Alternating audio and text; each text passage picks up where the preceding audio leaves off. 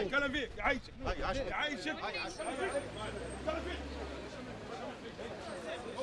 مرة امشي مرة شباب يلا فيك هاي بقى الكلمة يا ولدي هاي سامحون هاي هاي اخويا تفضل سامحون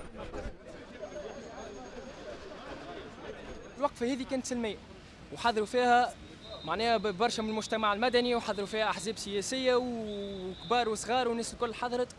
معناها على أساس باش يكون احتجاج سلمي.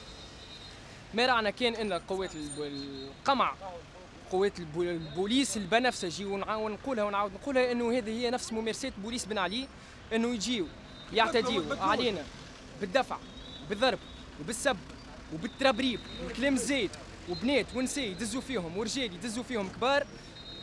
جوست على خاطرنا قمنا بوقفه احتجاجية سلمية. صار رفضنا صار دزانا صار كلام زايد يعني مع العوان امن في إطار يعني هنا ما يسمى بقانون طوارئ. ونحن هنا حسب فصل 37 من الدستور التونسي اللي صرفت فيه التوانسه مليارات قلبة إنه يعني التظاهر السلمي وحريه الاجتماع. هما يعني هما يعني مضمونين في الدستور التونسي. هاك شوف يعني لهنا صار يعني من الدولة ان هي تخترق هي الدستور التونسي.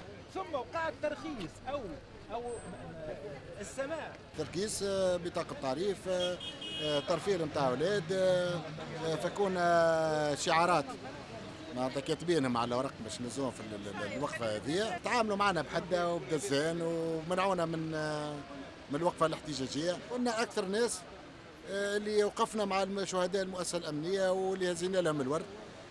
أكرمونا إحنا هزينا لهم الورد هم أكرمونا معناتها بإرهاب وتعسف قوات النظام اللي يحبوا تونس يوصلوا البر الأمان ما عليهم كان يتفكرونا ويتفكروا الشعب اللي يطلع وقت الكرتوس ونحن دردين دوراتنا للكرتوس ويشوفونا نحن الحل قداش الملفات مسكرة. مسكرة ولا بد باش تحل ونفركسوها ونحاكموا وبعد نحاسبوا ونسامحوا. ما عندناش حتى مشكل نحن رانا. أما هما وعدونا بالملفات تحل ولا يخبيوا فيها من السياسية كلنا معنيين بالأمور هذيا وكلنا معنيين بقضية من الحمله هذيا مانيش مسامح. وماذا بيا العباد الكل تفيق على وضحها وتفيق وتعرف إللي البلاد هذيا راهي ماشية في هاويه كان يتعدى القانون هذايا وراه صحيح باع وروح